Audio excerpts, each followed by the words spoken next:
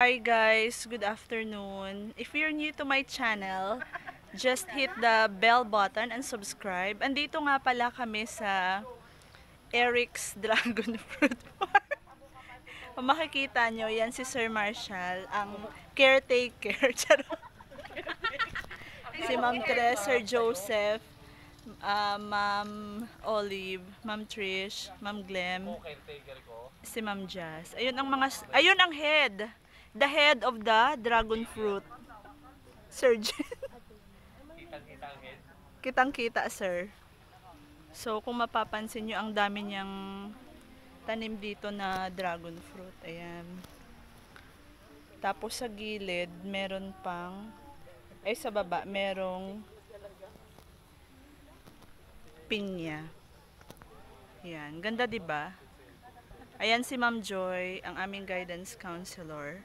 Marami na din siyang na-counsel, na-counseling. Iya, ma'am, ni- pinalo ko lang ini, ma'am. So, ganda ng paligid, 'di ba? Yan si Ma'am Tricia.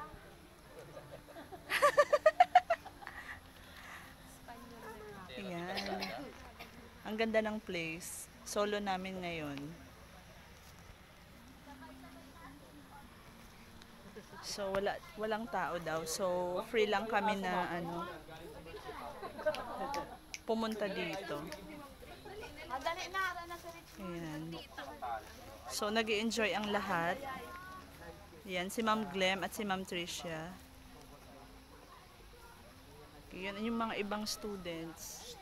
Si Ma'am Jen, bilingo, andyan din. Ayan.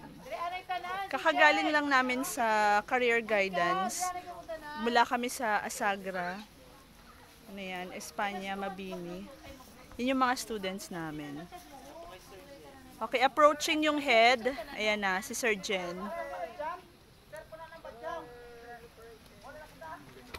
Ayan. So, magpapapicture na ang lahat before we go home.